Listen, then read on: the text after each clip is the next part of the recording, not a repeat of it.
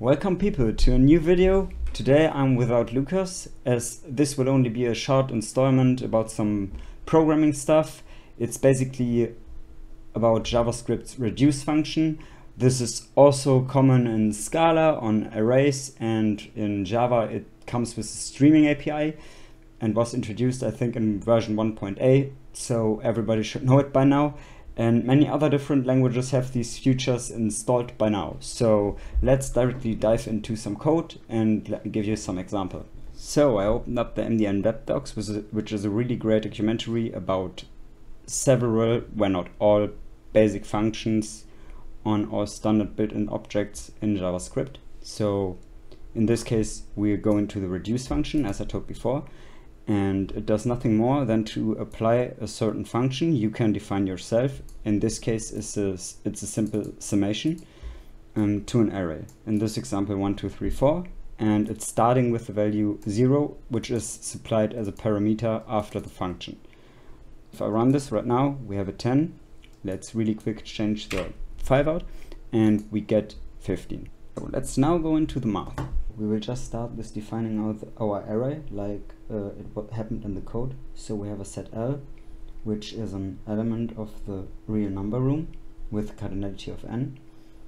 So it's basically our array, which is equal to a set consisting of L1, L2, all up to Ln,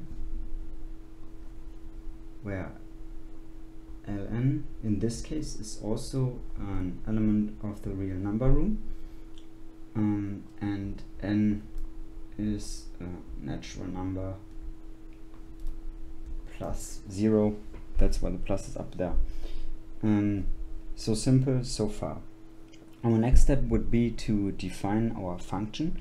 There we abbreviate a bit from the code and just say a function f has uh, two parameters, which is our preview value, p, and in this case it was called current value, so let's call it c. And it resolves in a another value, let's call it r as result.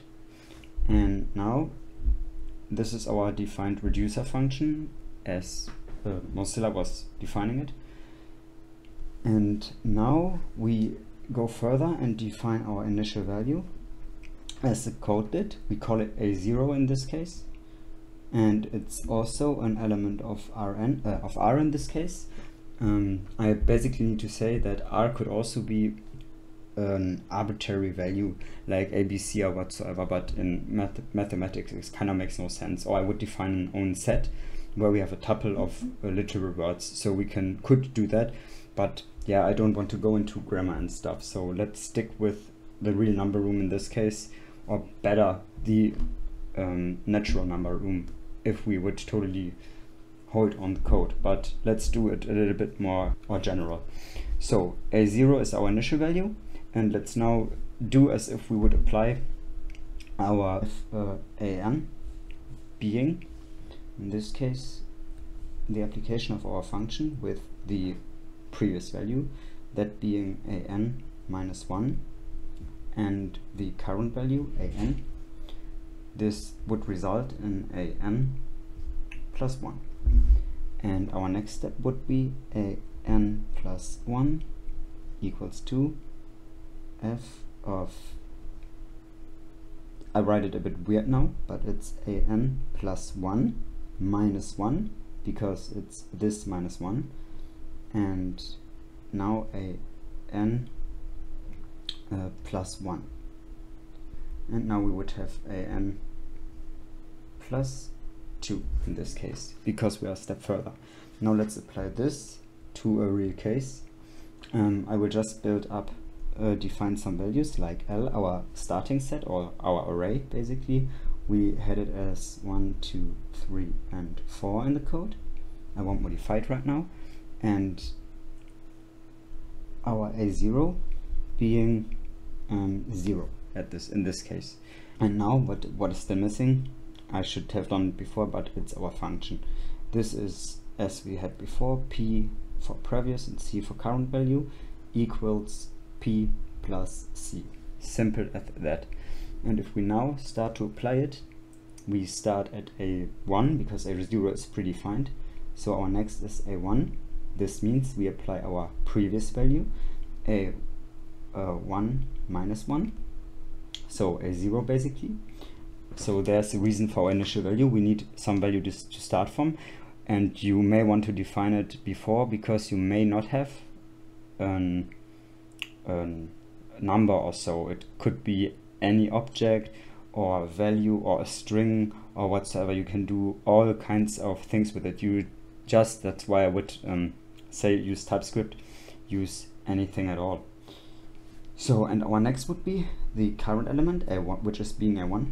And this results in let's uh, put in the values now. So a0 is 0 and our current value would be the one taken from the array. So this is equal to 0 plus 1 so a2 is then being f of a2 minus 1 so the previous value 1 and our current value is then a2 being 2 in that case. So we have 1 plus 2 which is 3 then we have a3 I do that all around now. And uh, in this case we have our previous value 3 and our current value 3 so that is uh, 6 and now a 4 which is function of 6 and 4 we are at the fourth element which is actually 4 and this is now 10 so there we are. Running have run our code on paper. Now you basically see how the reduce is internally applied and the whole um, point in that is it's basically tail recursive. This means this is executed and then there is not a nested call meaning that the function before is deleted from the store. Only the value is stored and this result will be used. So you are not blowing up the stack or anything else that's basically one of the great opportunities. So at this point I would say thanks for listening in